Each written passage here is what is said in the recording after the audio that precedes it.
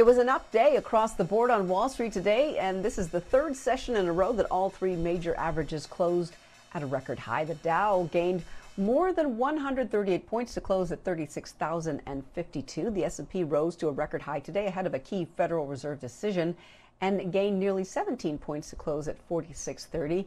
And the tech-heavy Nasdaq gained more than 53 points to close at 15,649.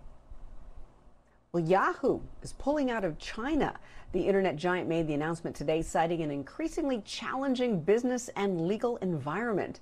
Yahoo says its services are no longer accessible from mainland China as of November 1st. That was yesterday, which, calculating the international dateline, means today, as I just said. Yahoo is the second large technology firm to pack up its computers and go home. Last month, LinkedIn unlinked themselves from mainland China.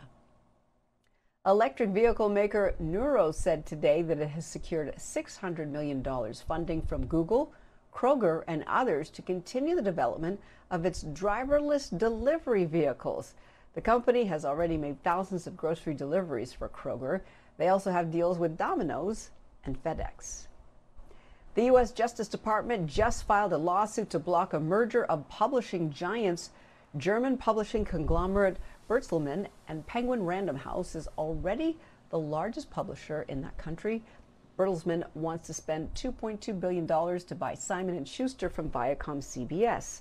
Among their famous titles are The Blood of Emmett Till, the Pulitzer Prize winning Carry Me Home about the civil rights conflicts in Birmingham, and The Butler, which was turned into a movie. The Department of Justice said the merger would, quote, exert outsized influence over which books are published in the United States and how much money authors are paid for their work.